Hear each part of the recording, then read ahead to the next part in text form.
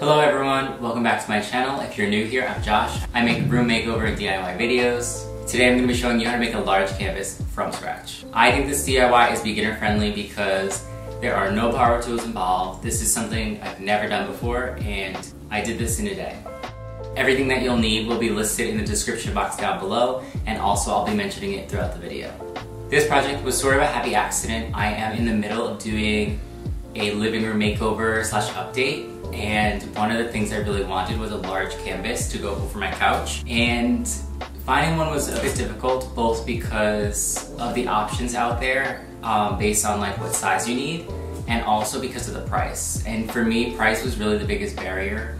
I really couldn't find anything that wasn't hundreds and hundreds of dollars. So I was really happy that I was able to make this for like 45 bucks.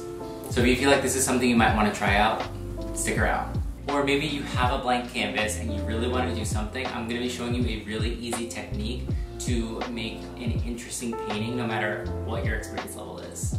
So we're going to be adding texture to our canvas and then just putting something really simple on top of it. I really hope you guys like this one. If you have any questions, don't forget to leave them for me in the comments down below. So before getting into how to make this, I just wanted to kind of show you the space that I'm working with.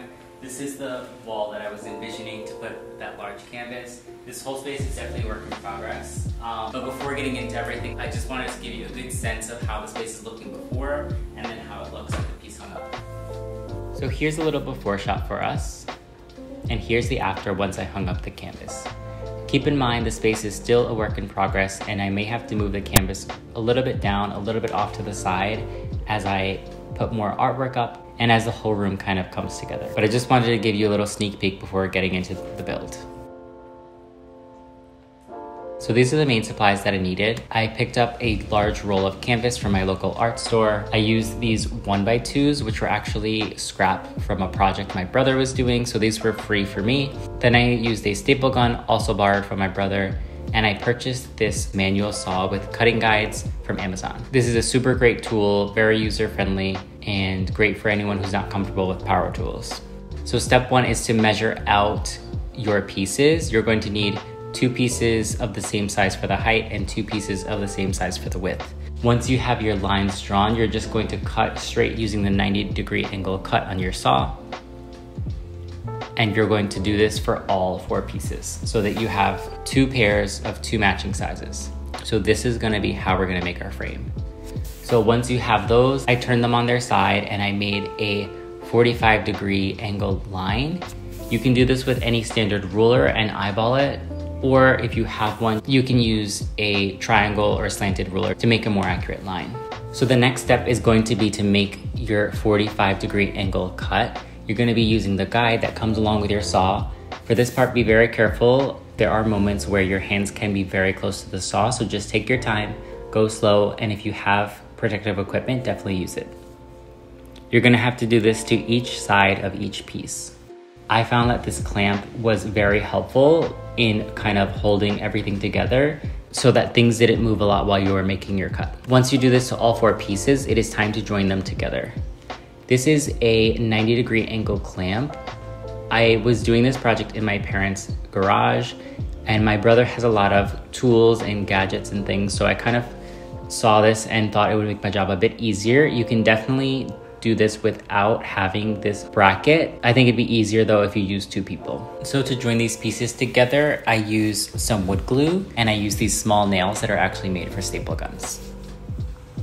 So after repeating these steps for all sides, I had my basic frame. Whenever you're making a canvas, you need to provide some support for the frame. So generally you can have a couple horizontal pieces running down the center. My pieces weren't long enough for that, so I decided to do diagonal pieces in the corners. After making this video, I realized I could have probably done four of these, one for each corner, but in the moment, I did not feel I had enough wood so I went for two longer pieces. Because these aren't gonna be showing, these do not have to be exact measurements. You can kind of just make your cuts, make your 45 degree angle ends for each piece of wood and slide it down until it fits into place. Again, we're gonna go with a nail that's compatible with our staple gun. If you have one, you can use a nail gun for this or you can manually hammer into the nails. So here's what I was left with. This was my frame. Considering this was my first time doing anything like this, I was pretty happy with it. So next up, I had to roll out my canvas, allowing some excess on each side. Then I was off to stapling. So I started with one side, making sure I pull tightly as I went. Once you have your first side done, which is sort of like an anchor, you wanna pull really, really taut for the opposite side. You really wanna stretch the canvas as much as it will go so that you have a smooth surface with the least amount of wrinkles possible. For the edges, you're gonna put your gift wrapping skills to the test. You kind of have to bend this in the same way you would a present and just put it into place so that you have a nice folded edge because edges are going to be exposed. You want it to be really neat. We're doing this for both sides. Just really take your time with this and remember each step you go to really pull the canvas as tight as it will go. The stretch of the canvas will depend on the type of canvas you purchase. Then I just cut off my excess and here's what I was left with. So my sister-in-law is actually an artist and I was telling her about this project and she gave me a great tip. So as you can see, there are some sort of rough edges and it's not perfectly flat. So what I did was before painting was just went over this with a damp sponge and left it overnight to dry. Because canvas shrinks as it dries, that kind of helped things look more flat. So now it's time to add texture to our canvas. So we're gonna start with some joint compound and just place it down in no particular way, just making sure to get a lot of coverage throughout. My plan was to cover this whole thing in joint compound so that we have a nice texture to paint on top of. As I was going, I realized I was going to run out of joint compound, so one idea I had was to make a sort of unique pattern with it and maybe to paint on top of that. But in the end, I really wasn't into how this was looking. So I found I did have some leftover spackle. So I took that and laid it down to cover all of the empty spots, which you'll see in a second. Doing this, I think, was my second happy accident because once everything dried and had time to cure, there was a slight color difference in this both the spackle and the joint compound. One was more of a pure white and one was more off-white.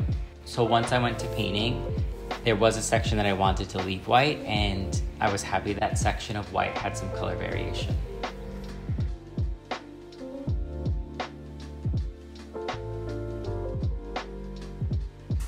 So here's how we're looking after drying for a couple hours.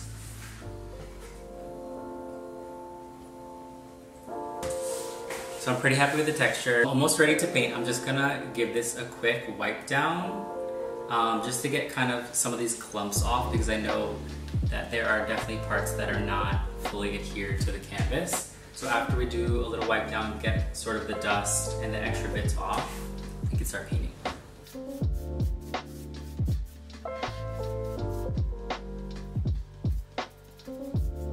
So here are some inspiration photos for you guys. I was really looking for things that had either straight lines or very simple shapes something that I thought that anyone could do without much painting experience because remember the texture that we added on the bottom is really gonna be what brings interest to the piece. And this one right here, this was actually my inspiration photo that I used. I wanted to find something that had sort of two colors in it at least, and I felt like these shapes were simple enough for me to reproduce. So I just mixed up this nice tan color, something warm that really kind of fit the vibe of my apartment overall and I went in and I made these sort of three rounded shapes all coming out at different lengths. So like a half length a short one and a long one. And this was so simple to do I just made sure that they were all at varying lengths and that they all had rounded edges. Otherwise it's just a straight color block almost like a coloring book creating those lines on the outside and then just painting it all in. This is a trick I learned from another YouTuber named Tina. I forget her last name, but I'll link her down below you can put your front facing camera and hold up any picture or painting at different heights and then you can review the video and see what height that you like the piece at. So here is an up close look of how our textured minimal painting came out. This was a really fun project for me and I was kind of skeptical if this would work out, but I'm so happy that it did. Hope you guys like this one. Can't wait for my next DIY with you guys. Thank you guys so much for watching this video. I really want to thank those of you who have subscribed, who have liked, who have commented. All that stuff makes me really happy and kind of really makes me want to keep going with this. I've been having so much fun doing YouTube. For those of you who have subscribed and kind of stuck around, you might have noticed that I've been posting a video every single Wednesday. This is my first video that's a little bit off schedule, and that's really because I felt like I was putting a lot of pressure on myself. I felt like I was rushing a bit, and I really kind of want to pause and make sure that everything that I put out for you guys is really great content. It's not rushed. Um, so I'm going to try to do a video every week. It might be pushed to every other week, um, but I really want to make sure everything that I'm putting out for you guys is well thought out, well filmed, and well put together. So I hope that's okay. Definitely subscribe down below, and you can even click the bell to get an alert when I post my next video.